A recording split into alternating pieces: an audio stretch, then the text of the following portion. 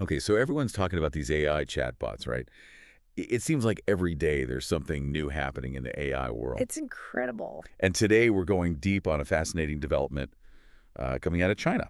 Right. Uh, we're going to be looking at DeepSeek. Deep sea. Now, you guys have probably heard of ChatGPT. Of course. Yeah, ChatGPT is like the the big name. It is the big name. you know, that everyone knows, but Yeah. DeepSeek is really starting to turn heads.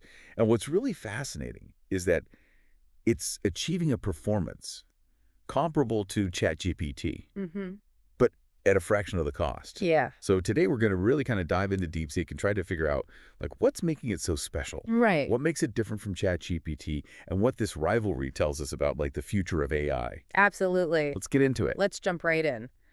One of the things that's making everybody take notice of DeepSeek is this just mind-blowing cost efficiency. Yeah. I mean, you've looked into this. How is DeepSeek able to achieve a performance that's comparable to ChatGPT, but with a training cost of under $6 million? Well, uh, one of the most fascinating things about DeepSeek is that they were able to reach uh, ChatGPT's O1 model performance Okay. for under $6 million. Wow. Which is potentially an 80% cost reduction in development. That's amazing. Yeah, so you can imagine like what what can happen with this kind of technology Right. if it becomes available to way more businesses and researchers. That's a huge difference because, you know, ChatGPT has the backing of like, Yeah. you know, some of the biggest players Some serious players. in the entire tech world. Absolutely, yeah. So how is DeepSeek able to even come close Right. To that kind of performance without that kind of backing? Well, it comes down to really smart software engineering Right. and a different approach to reinforcement learning. Okay. So, you know, instead of using the most expensive top of the line H100 GPUs, Yeah. they're using uh, more readily available H800s. Sure. And basically, they're making them work a lot smarter, not Ah. harder. So it's not really about the hardware Right. as much as it is about the actual The brains. like software. yeah, Right? the, the approach. Can you kind of break down for me though what reinforcement learning Yeah. is in this context? It's a good question, and it's something that a lot of people have uh, have asked about. Yeah. Um, and the easiest way to explain it is to think of it like you're teaching a, a dog a new trick. Oh. Right?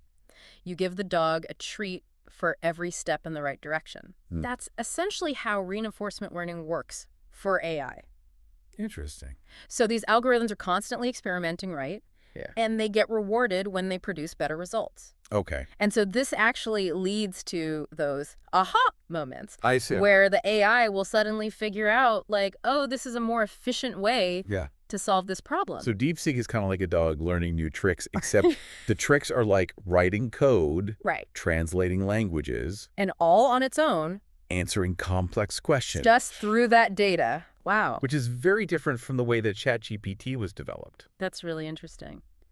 So, in terms of like what each one can actually do, Yeah. right? What are they capable of? What do those differences actually look like? Well, that is the big question. Because we've got ChatGPT, Yeah. which is kind of already out there. Right. It's this established name. Global reputation. People know it. Yeah. And then we have DeepSeek Okay. coming in and saying, Right. hey, we can do this too. Yeah. And we can do it cheaper And we can do it better and better. in some ways. So, how do they actually compare?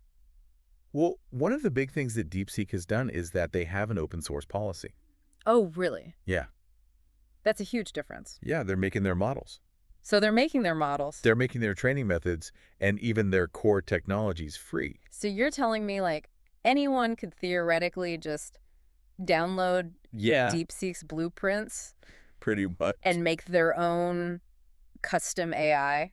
That's the idea. Yeah. That's wild. Yeah. So this could completely change like the entire Right. landscape. It could revolutionize AI development. because imagine like all these businesses Right. that could now create these AI solutions Customized to their needs. that are totally tailored to what they need. Right. And way more specialized Like, than what we've seen before. It's kind of making me wonder if like Yeah. the days of these like giant tech companies Monopoly. controlling AI are like,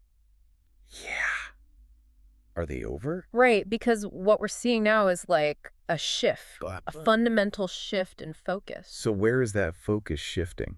Well, hardware is still important, of course. Yeah. You need the hardware to run everything on. Of course. But the real battleground, I think, is going to be in software innovation and model optimization. So it's no longer just about throwing money Right. at the problem and getting The most expensive. the most expensive GPU. yeah.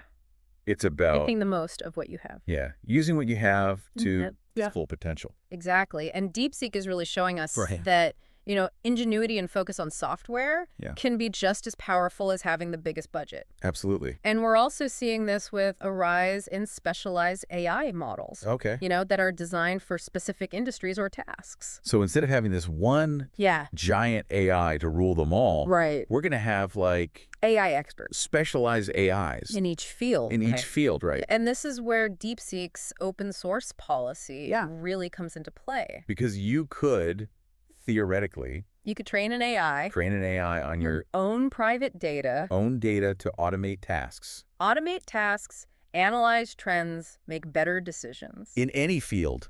no matter what field you're in. It seems like we're really moving into It's exciting. this whole new era A new era of AI. of AI, and DeepSeek is really shaking things up, yeah, not only with their cost-effective approach, right. but also with this open source policy.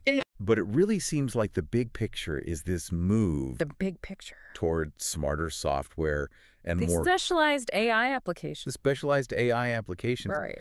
So this makes me wonder, like, what other fields or tasks could be revolutionized by these hyper-specialized AI models, Yeah. and how could this affect your own work or life? It's definitely something to think about. It's an exciting time to be following AI for sure. Absolutely. So thanks for taking this deep dive with us. My pleasure.